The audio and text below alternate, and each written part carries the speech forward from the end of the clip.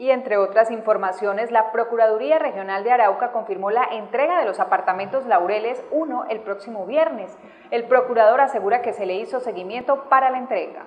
La Procuraduría Regional de Arauca confirmó que el próximo viernes la Administración Departamental y la Caja de Compensación Familiar Confiar entregarán definitivamente los apartamentos de Laureles 1. Sí, ya creo que es tiempo de eso. El día viernes a partir de las 9 de la mañana se hará la entrega oficial de la entrega de los apartamentos. Ya las eh, personas que les fueran asignados sus apartamentos a las 9 de la mañana deben de estar presentes. El señor gobernador, Confiar y creo que el señor alcalde asistirán a la entrega de estos apartamentos.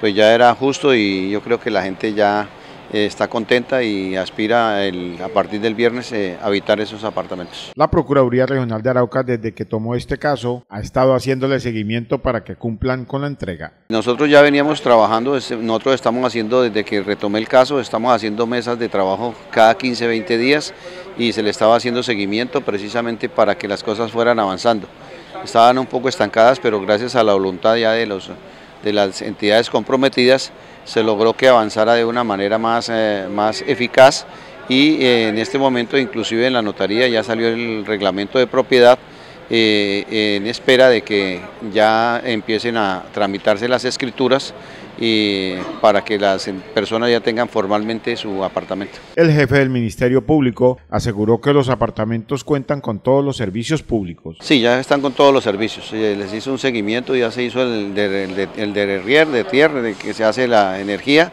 y el agua también ya, ya cuenta con todos los servicios. El viernes a partir de las 9 de la mañana, el gobernador de Arauca y la directora de Confiar entregarán a cada uno de los beneficiarios sus apartamentos.